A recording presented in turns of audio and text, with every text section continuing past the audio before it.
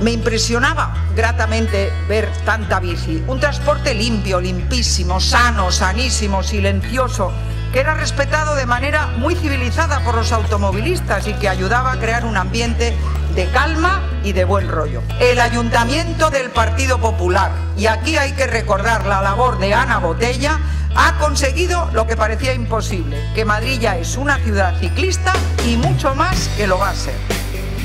Lo que ha hecho el ayuntamiento en esta materia yo creo que es una demostración de que cuando hay una buena idea y hay voluntad de llevarla a la práctica, no existen imposibles. Y los datos yo creo que son elocuentes. Resulta que hay más de 7.000 ciudadanos que utilizan el Bicimad al día y esto es un auténtico éxito. Ha animado al ayuntamiento a ampliar la red ciclista porque cada vez son más los madrileños que usan la bici para ir a su trabajo. La importancia de nuestro compromiso con la bicicleta yo creo que la mide la presencia del presidente del gobierno, Mariano Rajoy, en este acto de promoción del uso de la bicicleta.